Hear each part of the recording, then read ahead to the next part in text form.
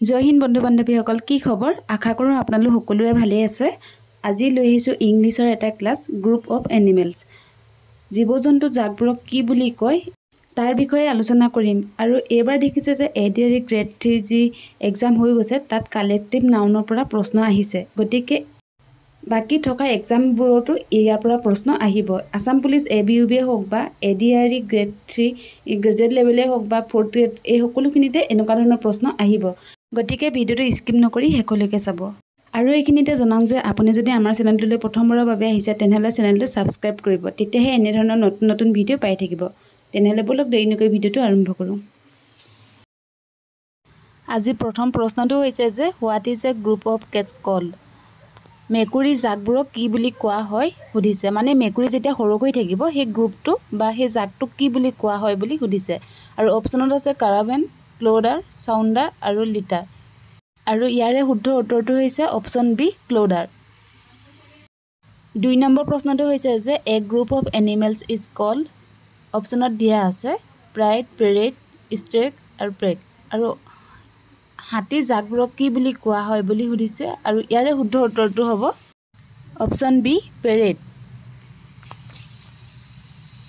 তিনি নম্বৰ প্ৰশ্নটো হৈছে যে a group of baboons is call অপশ্যনত দিয়া আছে পেক প্ৰাইড ড্ৰপ হাৰ্ট আৰু ইয়াৰে শুদ্ধ উত্তৰটো হ'ব অপশ্যন চি ট্ৰপ চাৰি নম্বৰ প্ৰশ্নটো হৈছে যে what is a group of dog called কুকুৰ জাকবোৰক কি বুলি কোৱা সুধিছে আৰু ইয়াৰে শুদ্ধ উত্তৰটো হ'ব অপশ্যন এ পেক পাঁচ নম্বৰ প্ৰশ্নটো হৈছে যে what is a group of fish called আৰু মাছৰ গ্ৰুপবোৰক বা মাছৰ জাকটোক কি বুলি কোৱা হয় সুধিছে আৰু অপশ্যনত আছে ফ্লক স্কুল বা চইল হাৰ্ট আৰু কাৰাভেন। আৰু এই প্ৰশ্নটো A D R E grade three H S লেভেলৰ যিটো এক্সাম হৈ গৈছে পোন্ধৰ তাৰিখৰ দিনা সেই এক্সামত এইটো প্ৰশ্ন আহিছিল আৰু ইয়াৰে শুদ্ধ উত্তৰটো হৈছে অপশ্যন বি স্কুল আছিলে তাত স্কুল বা চুৱেল। ছয় নম্বৰ প্ৰশ্নটো হৈছে যে what is a group of horse call? ঘোঁৰা জাকসমূহ কি বুলি কোৱা হয়? আৰু অপশ্যনত দিয়া আছে টিম হাৰ্ট ব্ৰেড ক্ল'ডাৰ। আৰু ইয়াৰে শুদ্ধ উত্তৰটো হৈছে অপশ্যন এ টিম সাত নম্বৰ প্ৰশ্নটো হৈছে যে what is a group of bee called আৰু অপশ্যনত দিয়া আছে পেক শ্ৰাম ট্ৰাইব ক্ল'ডাৰ আৰু ইয়াৰে শুদ্ধ উত্তৰ হৈছে অপশ্যন বি চোৰাম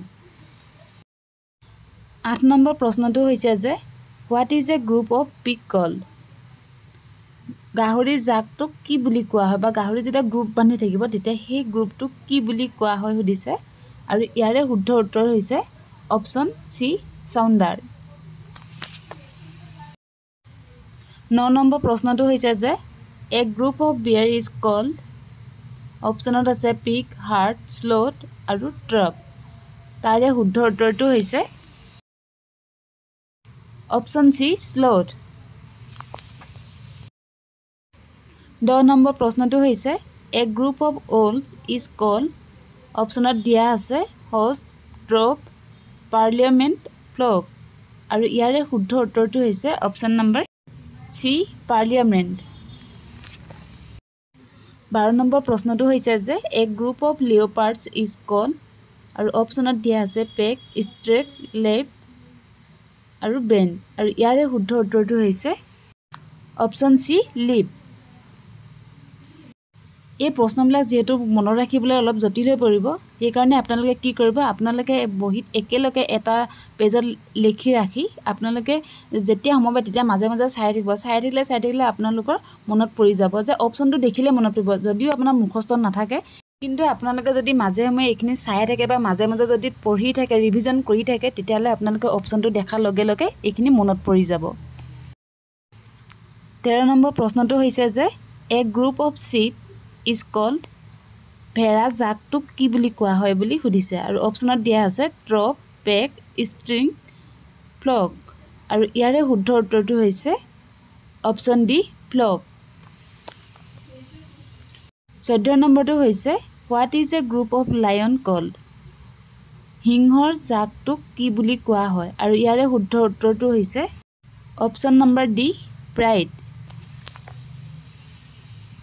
পোন্ধৰ নম্বৰ প্ৰশ্নটো হৈছে what is a group of dolphins call অপশ্যনত দিয়া আছে পড ডেজেল ড্ৰপ লিটাৰ আৰু ইয়াৰে শুদ্ধ উত্তৰটো হৈছে অপশ্যন এ হৈছে পড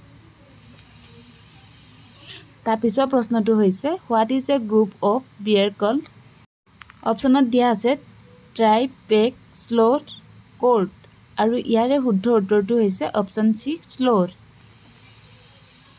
তাৰপিছৰ প্ৰশ্নটো হৈছে what is a group of cow call অপশ্যনত দিয়া আছে হাৰ্ট ডেজেল ড্ৰপ লিটাৰ আৰু ইয়াৰে শুদ্ধ উত্তৰটো হৈছে অপশ্যন এ হাৰ্ট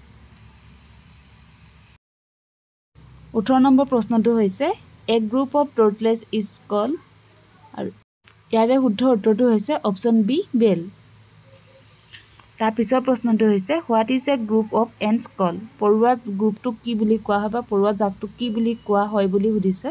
অপশ্যনত দিয়া আছে কোভিক ক্লৌড আৰ্মি কলনি আৰু ইয়াৰে শুদ্ধ উত্তৰ হৈছে অপশ্যন নম্বৰ ডি কলনি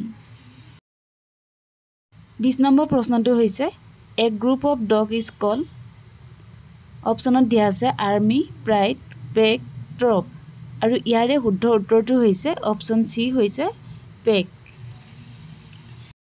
তাৰপিছৰ প্ৰশ্ন হৈছে a group of gorillas is call অপশ্যনত দিয়া আছে বেন ড্ৰপ পেক আৰ্মি আৰু ইয়াৰে শুদ্ধ উত্তৰটো হৈছে অপশ্যন এ হৈছে ইয়াৰ শুদ্ধ উত্তৰ। What is a group of rhinoceros call অপশ্যনত দিয়া আছে ক্ৰাছ ফ্লক বেবি ৱাটছ আৰু ইয়াৰে শুদ্ধ উত্তৰটো হৈছে অপশ্যন এ ক্ৰাছ গড়ৰ জাকটোক ক্ৰাছ বুলি কোৱা হয়। তাৰপিছৰ প্ৰশ্নটো হৈছে a group of monkey is call আৰু ইয়াৰে শুদ্ধ উত্তৰ হৈছে অপশ্যন এ ট্ৰপ তাৰপিছৰ প্ৰশ্ন হৈছে a group of cow is call আৰু অপশ্যনত দিয়া আছে অপশ্যন বি হৈছে ইয়াৰ শুদ্ধ উত্তৰ হাৰ্ট তাৰপিছৰ প্ৰশ্নটো হৈছে what is a group of kangaroos call অপশ্যনত দিয়া আছে মুভ ডেজেল ড্ৰপ লিটাৰ আৰু ইয়াৰে শুদ্ধ উত্তৰটো হৈছে অপশ্যন এ মুভ তাৰপিছৰ প্ৰশ্নটো হৈছে what is a group of duck call হাঁহৰ জাকটোক কি বুলি কয় সুধিছে আৰু ইয়াৰে শুদ্ধ উত্তৰটো হৈছে অপশ্যন নম্বৰ বি ফ্লক তাৰপিছৰ প্ৰশ্নটো হৈছে what is a group of bat called আৰু ইয়াৰে শুদ্ধ উত্তৰটো হৈছে অপশ্যন নম্বৰ ডি কলনি আঠাইছ নম্বৰ প্ৰশ্নটো হৈছে a group of vultures is call অপশ্যনত দিয়া আছে ভেনু পাৰ্লিয়ামেণ্ট আৰ্মি হোষ্ট। আৰু ইয়াৰে শুদ্ধ উত্তৰ হৈছে অপশ্যন নম্বৰ এ হৈছে ইয়াৰ শুদ্ধ উত্তৰ ভেনু। তাৰপিছৰ প্ৰশ্নটো হৈছে a group of tiger is call অপশ্যনত দিয়া আছে পেক এম্বুছ ব্ৰাইট হাৰ্ট আৰু ইয়াৰে শুদ্ধ উত্তৰ হৈছে অপশ্যন নম্বৰ বি এম্বুছ ত্ৰিছ নম্বৰ প্ৰশ্নটো হ'ব লাগিছিলে কিন্তু টাইপিং মিষ্টেক হোৱাৰ কাৰণে একত্ৰিছ নম্বৰ হৈ গ'ল। ইয়াত দিয়া আছে যে এ ডেছ অফ বাৰ্ডছ আৰু ইয়াত খালী ঠাইত কি হ'ব? ফ্লক ফ্লাইট কলনি আৰু দিয়া আছে অল অফ দ্য এবভ আৰু ইয়াৰে শুদ্ধ উত্তৰটো হ'ব অপশ্যন ডি ফ্লকো হ'ব ফ্লাইটো হ'ব আৰু কলনিও হ'ব। আৰু সেইকাৰণে ইয়াত দিছে যে অল অফ দ্য এবভ ওপৰৰ গোটেইকেইটাই হ'ব। বাৰ্ডছৰ যি কালেক্টিভ নাউন হয় সেই নাউনৰ এই গোটেই তিনিটাই হয়। এক্সামত যদি এই কুৱেশ্যনটো আহে তেনেহ'লে অকল ইয়াৰে অপশ্যন এটাহে দিব। গতিকে আপোনালোকে এই গোটেই তিনিটাই মনত ৰাখি থ'ব। তাৰ পিছৰ প্ৰশ্নটো হৈছে যে এ ডেছ অফ পিপুল আৰু ইয়াৰে অপশ্যন কোনটো হ'ব? ক্ৰ'ড গ্ৰুপ গেং হাৰ্ট আৰু ইয়াৰে অপশ্যন কোনটো হ'ব? অপশ্যন নম্বৰ এটো হৈছে ইয়াৰ শুদ্ধটো ক্ৰ'ড আৰু থামনেলত যিহেতু জীৱ জন্তু জাকবোৰৰ নাম বুলিয়ে লিখি দিছিলোঁ। কিন্তু তাৰ ভিতৰতো যে মানুহৰ বা চৰাই চিৰিকটিও জাকবিলাকৰ বিষয়েও আহিব সেইকাৰণে মই যিমানখিনি পাইছোঁ এই গোটেইখিনি মই একেলগতে এটা ভিডিঅ' বনাই দিছোঁ যে চৰাই চিৰিকটিও তাত আছে আৰু জীৱ জন্তুও আছে আৰু মানুহৰ বিষয়েও আছে এই গোটেইখিনি মই ইয়াৰ লগতে দি দিছোঁ। তাৰপিছৰ প্ৰশ্নটো হৈছে যে what is a group of puppies call আৰু ইয়াৰে শুদ্ধ উত্তৰটো হৈছে অপশ্যন নম্বৰ চি। লিটাৰ। তাৰপিছৰ প্ৰশ্নটো হৈছে a dash of players doctors. Players বা ডক্টৰ ডক্টৰ যেতিয়া থাকিব সেই গ্ৰুপটোক কি বুলি কোৱা হয় সুধিছে আৰু ইয়াৰে শুদ্ধ উত্তৰটো হ'ব অপশ্যন চি টীম। খেলুৱৈ গ্ৰুপো হ'ব পাৰে বা ডক্টৰৰ গ্ৰুপো হ'ব পাৰে আৰু এই দুইটাৰে উত্তৰ একেটাই হ'ব টীম। আজি ভিডিঅ'টো ইমানেই। ভিডিঅ'টো চাই কেনেকুৱা পালে জনাবলৈ নাপাহৰিব আৰু যিমান পাৰে শ্বেয়াৰ কৰিব। নতুন এটা ভিডিঅ'ত আকৌ লগ পাম ধন্যবাদ